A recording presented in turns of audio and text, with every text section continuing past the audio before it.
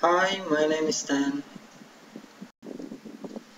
I'm an owner of Bible site gold-bible.com which supports Red Cross and other charity organizations around 90 countries by links on that site.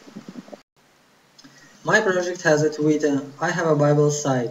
Actually, it was planned as account for programmers. However, there appear few tweets and support of Red Cross and other charity organizations. I love American Red Cross because they help to the people over all the world. In my Bible site, almost each subdomain has a link to American Red Cross. Half year ago, I left my country and started journey in Latin America. I went to Buenos Aires and was stopped in first days. In the night when I arrived, I lost my Anglicanized Holy Bible, Harry Potter book, cable from my book Air, textbook, Tesla and camera. These things were in one packet. Soon I left that city.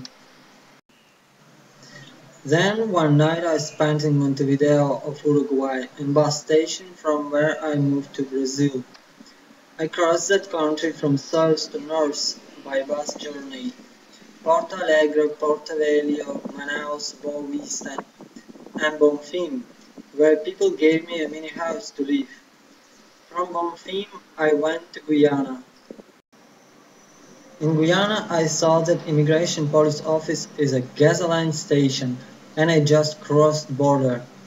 Somewhere after 100 miles, they spotted that I have no entry stamp and from Georgetown deported me to Bonfim. In 15th July, I arrived to Venezuelan city Port de la Cruz, then Caracas and Castelamar. There woman Yesenia helped and gave me a place to stay for a few nights. I was almost out of money. I had around 30 bucks which were later stolen from my coat. I got stone burned on the legs and people called emergency. From hospital their intelligence took me away. They thought that I'm an agent of Central Intelligence Agency. I spent few months in the office of their building, then in their immigration police.